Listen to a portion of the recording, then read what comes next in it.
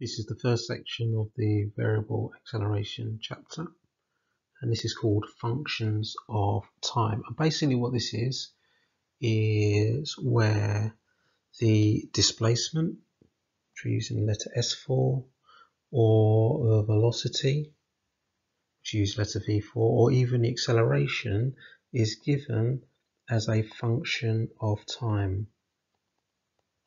So basically that means we put the time in to work out the displacement or the velocity or the acceleration. So some examples might be um, your displacement is 7t cubed minus 3t squared plus 3 or your velocity might be given as uh, a half x to the power 4 or x but t. Sometimes you might get x but this is in terms of t. Um, minus uh, 3t cubed plus t squared. Okay? Now there's some uh, things that we uh, need to make note of in terms of uh, these functions. And the first thing is with displacement, okay, when the displacement is zero, it basically returns to the start, returns to its start. Okay, when v is zero, okay, it means that something can stop moving for um, a second. This normally happens when something may have reached its maximum or minimum height. Because at the maximum or minimum height it um, stops moving for a little bit. Think of like when a ball is move it like goes up in the air or comes down again. When a is zero okay this means that something's reached its maximum or minimum velocity because it's not getting any faster, it's not getting any slower, it's now at a constant speed. When you've got a constant speed, there is no change in the acceleration. Acceleration is zero. So when acceleration is zero, it doesn't mean the speed is zero. It's a bit like a cruise control.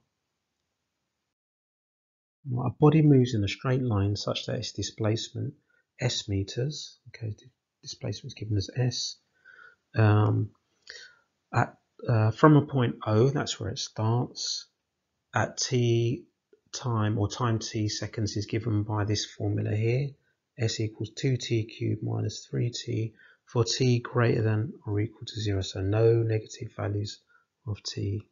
Part A, find s when t is 2, so we just take the equation and we substitute in 2. Very easy.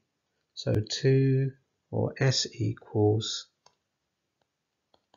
2 times 2 cubed minus 3 times 2. Well, that's going to be 2 times 8, which is 16, minus 3 times 2, which is 6. So we end up with 10, and it's S meters, so 10 meters there. Part B.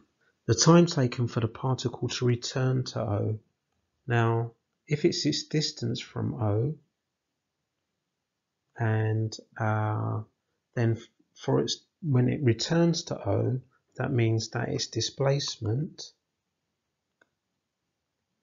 is zero, which means S equals zero. Okay, zero displacement, it's back where it started. So all we do is we set the equation equal to 0 and we are going to solve it. So that will give us 2t cubed equals 3t. If I divide both sides by um, t, I will get 2t squared equals 3. Then divide both sides by 2, t squared equals 2 thirds. So if I square root that, t is going to be plus or minus root or the square root of 2 thirds. Square root of 2 thirds. Now t can't be negative. It says in the question that t is greater than 0. So we ignore that. And um, the time it takes for the particle to return to S is going to be um, t equals root 2 over 3 seconds. Um, if we want to write that as a decimal, so we'll do that on a calculator, square root 2 thirds, and we get, remember we want to give our answers to three significant figures, that would be 0.816 seconds. So 0.816 seconds, and you can give either as an answer. A toy train travels along a straight track, leaving the start of the track at t equals 0. It then returns to the start of the track. The distance s meters from the start of the track at time t seconds is modelled by, and here we've got s equals 4t squared minus t cubed. And it says where the time is basically between 0 and 4 seconds. Explain the restriction. Right, let's look at the first part of the restriction where the time needs to be greater than or equal to zero. Okay, now if I put a negative number into there, let's say time was minus one. So if I did four times uh, negative one squared uh, minus negative one cubed, um, I'm going to get uh, a value that suggests it's actually gone, it's not at the start of the track. Yeah, so basically a, a, a value of t less than zero doesn't make sense because it's before the start of the track, which is at time zero. So um, this is before the train is at the start of the track. Yeah which is at t equals 0 and then with the other bit that t needs to be less than or equal to 4 now if I put 4 in and I do 4 times 4 squared minus 4 cubed that's 0 so at 4 seconds it gets back to where it starts now what happens if I put 5 seconds in. Okay, so I'll end up with um, 4 times 5 squared, which is 100, minus 125, end up with negative 25, which is back before the start of the track. Okay, so after 4 seconds, the train uh, cannot go um, back back before the start back before the start. Now there's other ways you could explain this maybe better than than I do but we need that restriction because we basically can't go backwards in time um, unless you've got a time machine um, so we can't have a value of t lower than zero because this whole thing starts at 0 and we can't have a value of t greater than 4 because it, it gets back to the start of the track. And if you put values of t in bigger than 4 it suggests it's now moving backwards from the start which doesn't make sense.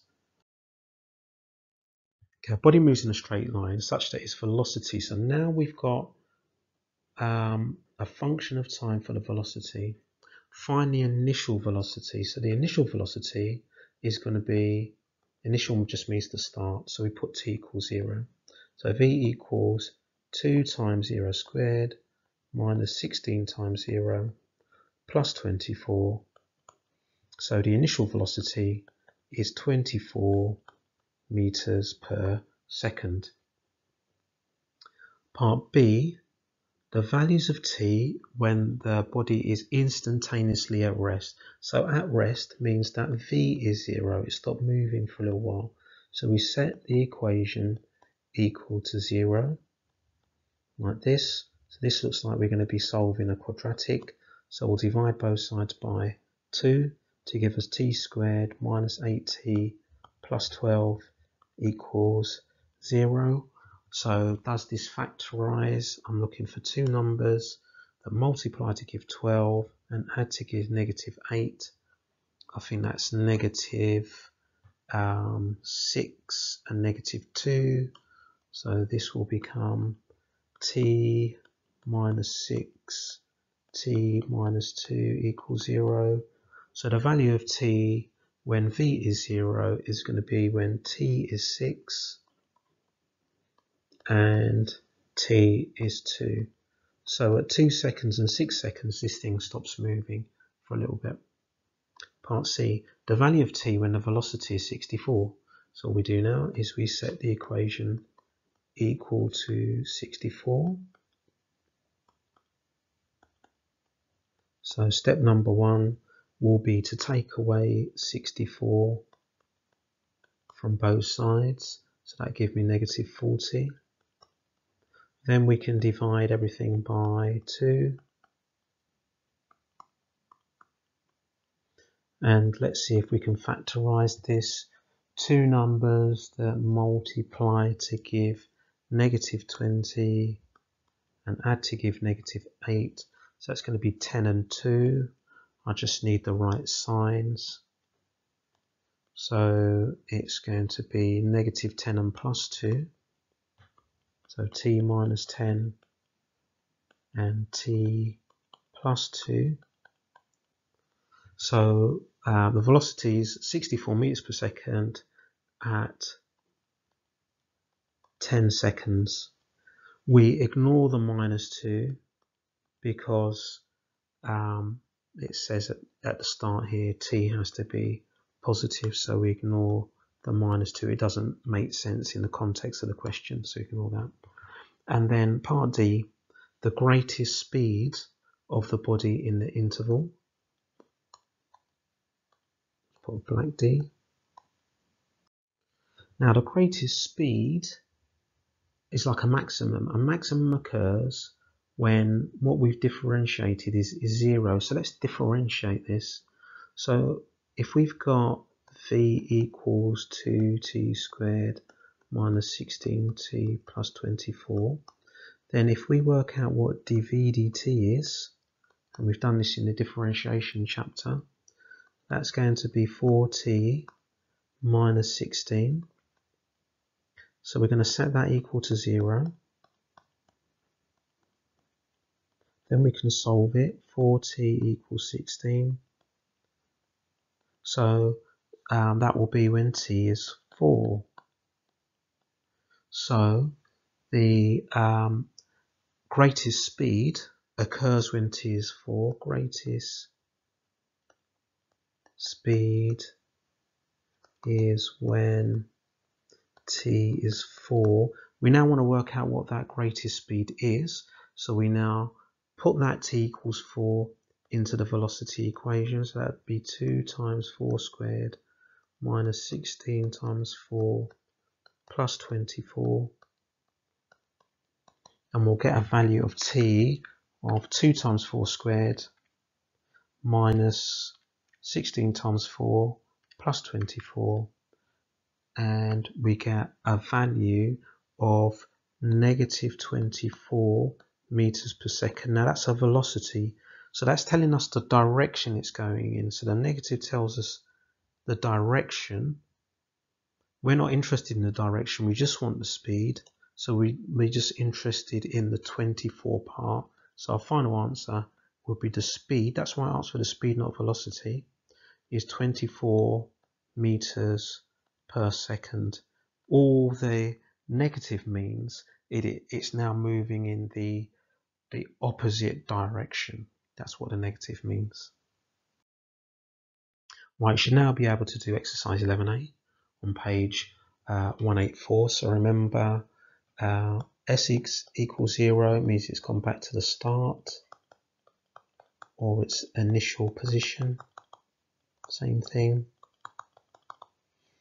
When v is 0, you might say this thing instantaneously at rest. Yeah.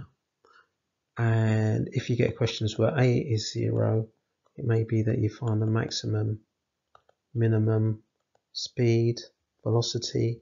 Now what you could do is actually, you'll also notice on one of the questions we did, the last one, that when dv dt equals zero, that also told us this maximum minimum speed. We get the value of t and we substitute it back in. But this sort of leads on to the next sections in the book or in this chapter.